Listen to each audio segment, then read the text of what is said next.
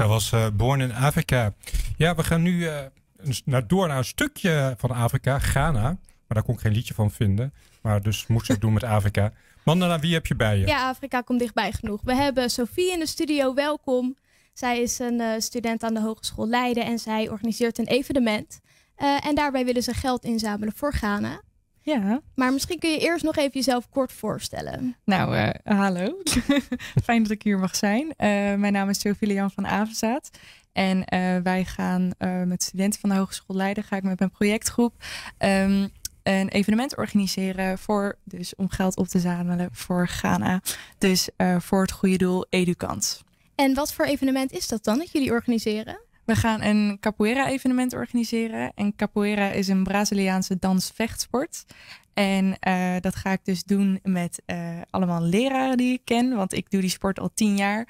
Uh, en ik dacht dat het een heel erg leuk idee was om dan ook daarin les te geven aan andere mensen. Even cultuur verbreden voor veel mensen. En, en hoe, hoe, zie, hoe heette het ook alweer? Zei je, het was best een moeilijke naam. Capoeira. Hoe, wat moeten we ons daarbij voorstellen? Ja, het is een beetje een uh, acrobatische sport. Uh, veel muziek. Uh, het is zoals ik al zei een dansvechtsport. Dus er is natuurlijk muziek. Dus het is wel een beetje swingend. Maar je bent ook verdedigingen aan het leren en schoppen aan het leren. maar dat is natuurlijk, we gaan natuurlijk vooral een beetje de basis in. dus je leert vooral een beetje de basis van deze sport. Oké, okay, en, en dit is dan bedoeld om geld in te zamelen? Ja. En jullie moesten denk ik zelf een project bedenken. Ja, inderdaad. We hebben van de hogeschool op een opdracht gekregen. Voor uh, deze periode hebben wij uh, evenementorganisatie. En dan mochten wij een evenement organiseren uh, om dus geld op te halen voor Educans. En Educans is een uh, goede doel, uh, zo, een goed doel, wat ervoor zorgt dat kinderen in Ghana beter onderwijs kunnen krijgen. Dus het geld wat wij ophalen gaat um, specifiek naar correctbooks. En correctbooks dat zijn speciale schriftjes, herbruikbare schriftjes. Uh, die ze in Ghana beter kunnen gebruiken. En die ze dan hun hele schoolcarrière kunnen gebruiken. Dus dat is duurzaam en ook veel goedkoper voor uh, de scholen in Ghana. En zijn dat dan basisscholen of middelbare scholen? Eigenlijk alle scholen. Maar wij focussen ons vooral volgens mij op basisscholen. En hoeveel geld willen jullie inzamelen? We moeten 1000 euro in, uh, inzamelen. Dus dat is wel spannend, maar daar komen we wel. En, en hoe kun je geld inzamelen met deze uh, dans, vechtsport. Hoe, hoe zit dat dan? Waar verdien je dan aan? Nou, wij hadden sowieso natuurlijk dat we lekker koekjes en thee en, en water gaan verkopen. Want mensen gaan natuurlijk honger krijgen als ze gaan sporten. Uh, maar als uh, ze in het evenement überhaupt willen deelnemen, dan moeten ze ook een ticket kopen voor 12,50. En dat is het helemaal waard, want het is echt geweldig, jongens. En uh, waar gaat dat zijn? Waar vindt het plaats? We gaan in de sporthal van Sassenheim, sporthal De Korf. Uh, gaan wij uh, dat evenement doen. En dat is op 6 november op een zondag.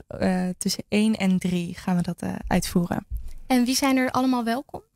Iedereen eigenlijk is iedereen welkom. We hadden eerst uh, gedacht aan een doelgroep, maar eigenlijk dachten we, nou, dat slaat natuurlijk nergens op om een doelgroep te doen, want capoeira is voor iedereen. Als je lekker zin hebt om te gaan bewegen, dan ben je van harte welkom. En als je daar misschien niet zo zin in hebt, dan kan je altijd lekker ons komen aanmoedigen. dus dat zou ook heel erg gezellig zijn. Nou, dat klinkt onwijs goed, maar dan heb ik nog wel één vraag. Wat als jullie de 1000 euro niet ophalen? Nou, ik denk dat dat wel heel erg goed komt. Want toevallig hadden we een uh, donatie gekregen van een goede uh, vriend van mij. Uh, mijn kapo zo, nee, mijn gitaardocent. Die heeft ah. namelijk een, um, die kent iemand en die heeft een organisatie Guitars Support Children.